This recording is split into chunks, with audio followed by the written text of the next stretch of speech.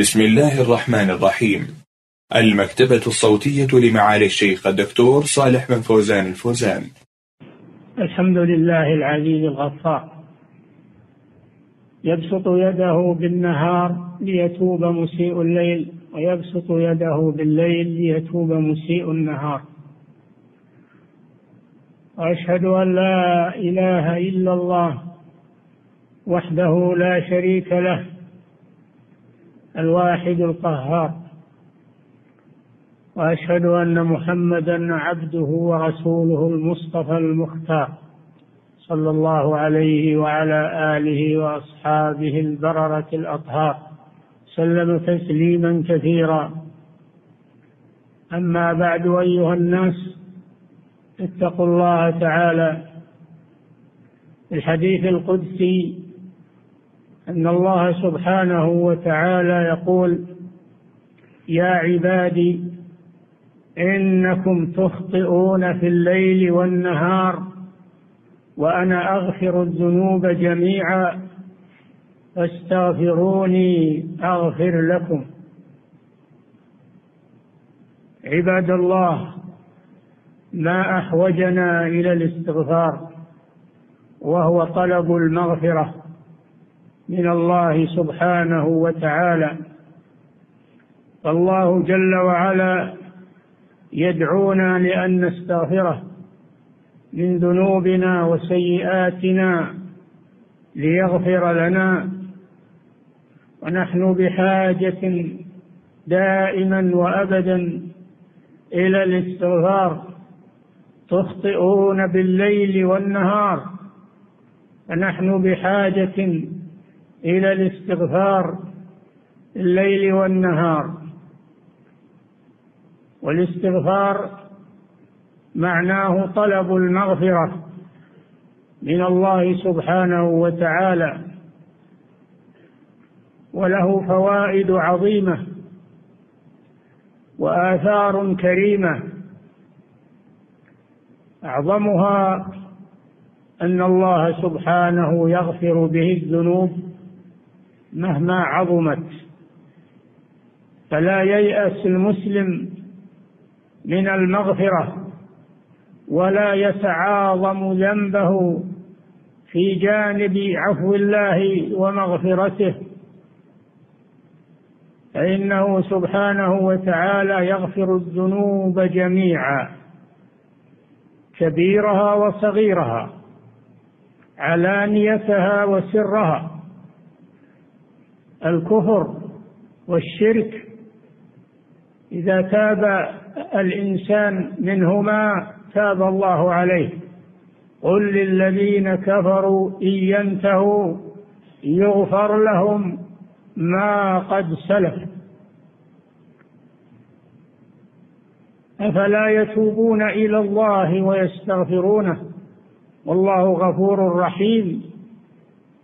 الله جل وعلا دعا الله جل وعلا دعا النصارى الذين يقولون إن الله ثالث ثلاثة ويقولون إن الله هو المسيح ابن مريم.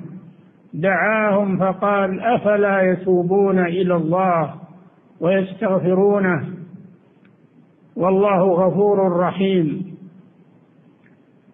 فلا يتعاظمه شيء طلب منه سبحانه وتعالى فهو الغني الكريم.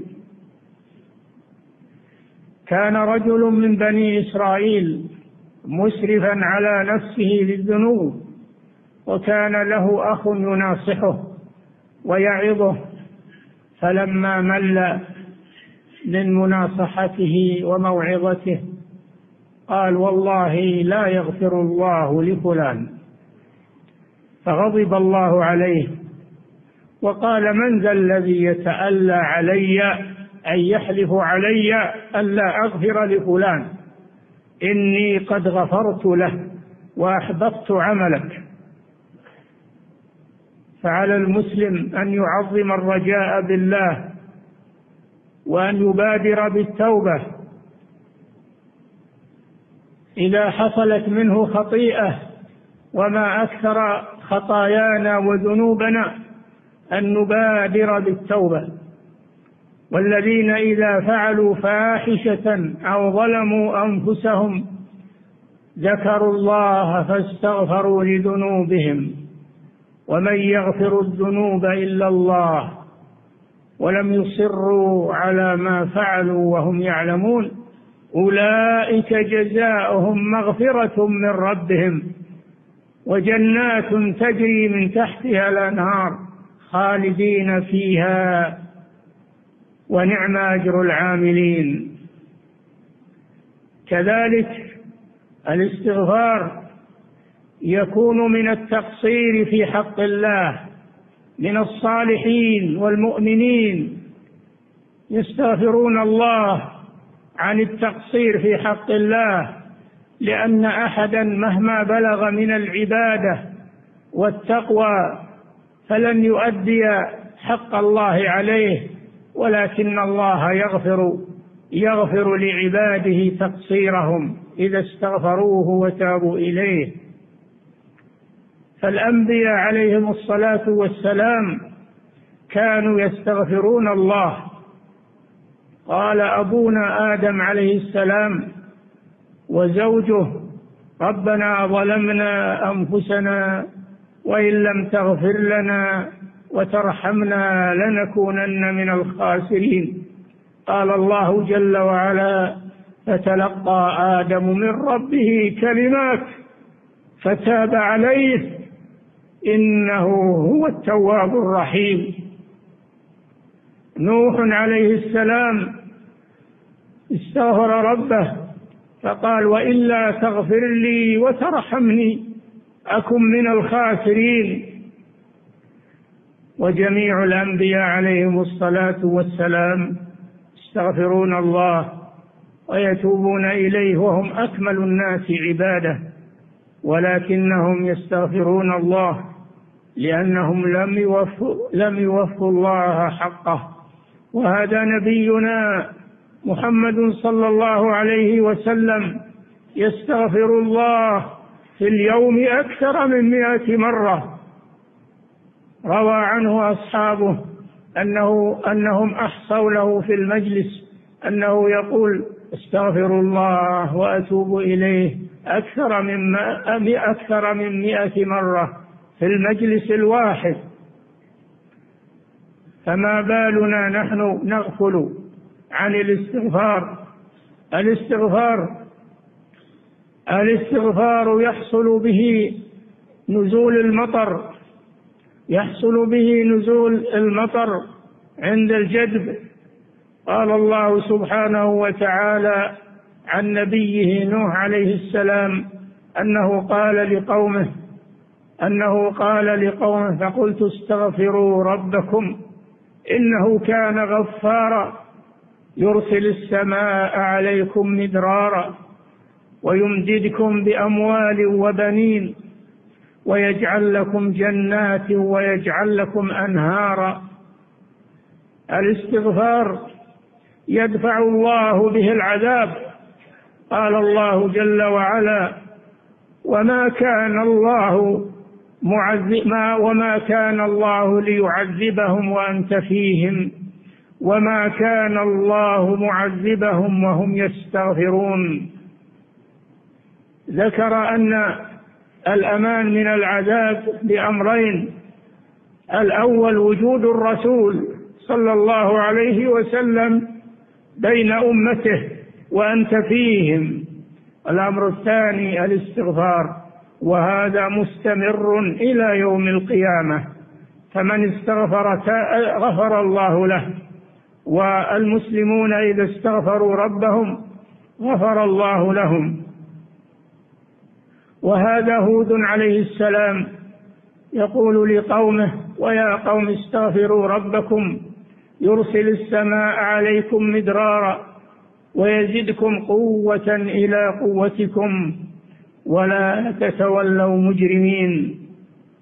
فالاستغفار تحصل به خيرات كثيرة. وفي الحديث أن النبي صلى الله عليه وسلم قال من لزم الاستغفار جعل الله له من كل هم فرجا ومن كل وجعل الله له من كل هم فرجا. ومن كل ضيق مخرجا الاستغفار سمة الأنبياء والمرسلين والأولياء والصالحين لا أحد يستغني عنه وهو مشروع في كل وقت وفي كل حين. ولكنه ولكنه يتأكد في في مواضع ينبغي للمسلم أن يتحراها. يتأكد عند انصراف الإنسان من صلاة الفريضة. كان صلى الله عليه وسلم إذا سلم من الفريضة قبل أن ينصرف إلى الناس يقول أستغفر الله أستغفر الله أستغفر الله ثلاث مرات. يكون الاستغفار في ختام صلاة الليل. قال الله جل وعلا إنهم كانوا قبل ذلك محسنين كانوا قليلا من الليل ما يهجعون وبالأسحار هم يستغفرون. قال تعالى والمستغفرين بالأسحار وفي الحديث أن الله جل وعلا ينزل إلى سماء الدنيا كل ليلة حين يبقى ثلث الليل الآخر فيقول جل وعلا هل من سائل فأعطيه؟ هل من تائب فأتوب عليه؟ هل من مستغفر فأغفر له؟ كذلك يكون الاستغفار بعد الانصراف من عرفة بعد الوقوف فيها. قال قال قال الله جل وعلا ثم أفيضوا من حيث أفاض الناس واستغفروا الله إن الله غفور رحيم. فالاستغفار مطلوب منا دائما وأبدا وهو طلب المغفرة. طلب المغفرة لذنوبنا. قال الله قال صلى الله عليه وسلم سيد الاستغفار. سيد الاستغفار أن تقول اللهم أنت ربي وأنا عبدك. وأنا على عهدك ووعدك ما استطعت. أعوذ بك من شر ما صنعت. أبوء لك بذنوبي. أبوء بنعمتك علي وأبوء بذنوبي فاغفر لي. إنه لا يغفر الذنوب إلا أنت. أستغفر الله أيها المسلمون. داوموا على الاستغفار. والهجوا به في الليل والنهار. لعلكم تفلحون. بارك الله لي ولكم في القرآن العظيم ونفعنا بما فيه من البيان والذكر الحكيم. أستغفر الله لي ولكم ولجميع المسلمين. الحمد لله رب العالمين وأشهد أن لا إله إلا الله وحده لا شريك له وأشهد أن محمدا عبده ورسوله. صلى الله عليه وعلى آله وأصحابه سلم تسليما كثيرا. أما بعد أيها الناس ونحن بعد أداء فريضة الصيام وبعد الفطر من رمضان أجدر بأن نكثر من الاستغفار مما قصرنا ومما تركنا ومما أهملنا ونقصنا في هذا الشهر فنستغفر الله عز وجل أن يتوب علينا وأن يغفر لنا. إن على المسلم أن يستغفر لنفسه وأن يستغفر لوالديه وأن يستغفر للمسلمين. قال الله سبحانه وتعالى لنبيه صلى الله عليه وسلم واستغفر لذنبك وللمؤمنين والمؤمنات فعلى المسلم أن لا يقتصر على نفسه بل يستغفر لنفسه أولا ولوالديه ولإخوانه المسلمين فإن الله غفور رحيم. ولتعلموا أن الاستغفار ليس معناه الترديد باللسان. فيقول فيقول الرجل أو المرأة أستغفر الله بلسانه وهو مقيم على الذنوب لا يتركها. لا بد أن يتبع الاستغفار ترك للذنوب وابتعاد عنها. وإلا فإن الاستغفار باللسان لا ينفع. ولهذا قال بعض السلف استغفارنا يحتاج إلى استغفار. أي أن من لم يترك الذنب فإنه يحتاج فإن استغفاره يكون لا قيمة له يحتاج إلى الاستغفار. فعلينا أن نحقق الاستغفار قولا وعملا وأن نكثر منه ونلهج به دائما وأبدا. إنكم تخطئون بالليل والنهار وأنا أغفر الذنوب جميعا فاستغفروني أغفر لكم. اعلموا أن خير الحديث كتاب الله وخير الهدي هدي محمد صلى الله عليه وسلم شر الأمور محدثاتها وكل بدعة ضلالة وعليكم بالجماعة فإن يد الله على الجماعة. ومن شذ شذ في النار. إن الله وملائكته يصلون على النبي. يا أيها الذين آمنوا صلوا عليه وسلموا تسليما. اللهم صل وسلم على عبدك ورسولك نبينا محمد. وارض اللهم عن خلفائه الراشدين الأئمة المهديين أبي بكر وعمر وعثمان وعلي وعن الصحابة أجمعين وعن التابعين ومن تبعهم بإحسان إلى يوم الدين. اللهم أعز الإسلام والمسلمين وأذل الشرك والمشركين ودمر أعداء الدين واجعل هذا البلد آمنا مطمئنا وسائر بلاد المسلمين يا رب العالمين. اللهم إنا نعوذ بك من زوال نعمتك ومن فجاءة نقمتك ومن تحول عافيتك ومن جميع سخطك. اللهم آمنا في أوطاننا وأصلح سلطاننا. اللهم ول علينا خيارنا واكفنا شر شرارنا يا رب العالمين. اللهم اجعل ولايتنا في من خافك واتقاك واتبع رضاك. يا رب العالمين اللهم أصلح ولي أمرنا اللهم خذ بناصيته إلى الحق اللهم اهده إلى الصواب اللهم رده إليك ردا جميلا اللهم أصلح بطانته وأبعد عنه بطانة السوء والمفسدين. ربنا تقبل منا إنك أنت السميع العليم. عباد الله إن الله يأمر بالعدل والإحسان وإيتاء ذي القربى وينهى عن الفحشاء والمنكر والبغي يعظكم لعلكم تذكرون. وأوفوا بعهد الله إذا عاهدتم ولا تنقضوا الأيمان بعد توكيدها.